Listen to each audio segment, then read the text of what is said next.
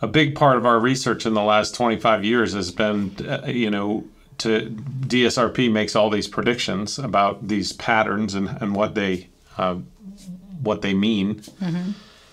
And so, like one of the predictions is that the, that this is a form of organization that occurs naturally in Yes. the real world, Yes. right? So we wanted to test that prediction, Yes. and we find that it does. Hundreds and hundreds of research studies show across the disciplines that that it, that these patterns exist.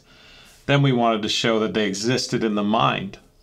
So we have some research. So we have that. research around that. Then we wanted to show that if you're aware of them, they have a an effect. So we call that existential versus uh, effect or affective uh, research, Yep. right? Yep. And um, so we wanted to show that they exist in mind and nature, mind and reality, and that if you're aware of them, it actually increases your effectiveness. Yes. And whatever. And then we wanted to show, we wanted to understand how we're biased.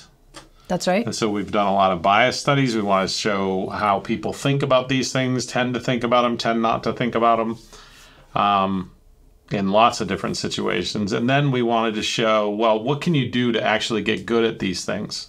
So we know that it's effective, but w- can we get you more effective by practice? Right. And the research on that is just mind boggling. Yes. So needless to say, we've been busy. Yeah.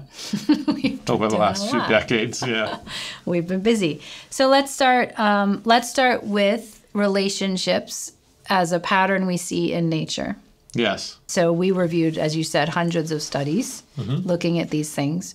We had a couple of examples that I thought were interesting. One of which was a short video you sent me of um, synapses, Yeah. neurons, or Yep. They're neuron. They're neurons that are in, um, you know, basically petri dishes, and it's interesting if you put, you know, a single neuron in a petri dish, it'll try to branch out. It'll it literally will try. uh, It'll do its darndest to relate to stuff, even if there's nothing. It's kind of sad if you look at this little neuron because he's like, hello, "Hey, hello, is anybody out there? You know, and uh, he's lonely and he wants to connect, yeah, right? And that is things want to connect. Um, one of my favorite biologists, Lynn Margulis, said said life did not overtake the planet through combat, that's right. but through relationships, Yep, through connection.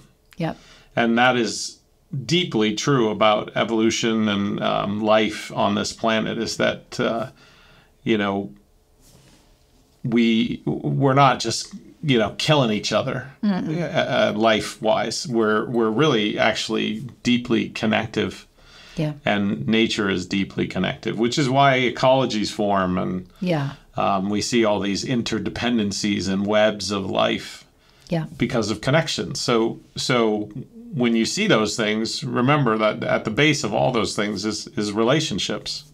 yes, So when you you know, like I was saying, when you put a, a single neuron in a petri dish, that's what happens. But when you put a couple, they connect with each other. they find each They other. They find each other, and they start to those- interact. And those relationships are material things in and of themselves that are mm-hmm. distinctly different than the neurons, right? Because they're they're exchanging electrochemical signals and Yeah. things like that. So they're each relationship is a material process that is quite complex. yes, And that's true for all the relationships yes. in the universe. Well, and you can imagine that's exactly why Facebook became so successful. Yeah, Because all humans are looking to connect and make bigger and bigger networks. the science of networks, the you know complexity, all these things. Um, you can even see, believe it or not, along those lines, you can see videos of whole um, galaxies interacting. Mm-hmm. One galaxy interacting with another galaxy and forming an, an actual relationship between these two galaxies.